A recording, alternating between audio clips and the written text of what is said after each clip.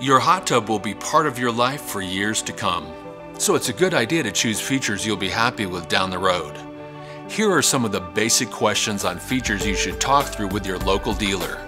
Is it large enough to fit my family? How well does it keep the water clean? Who is the manufacturer? And how reliable are they? How easy is it to operate the spa? What are this model's typical operating costs?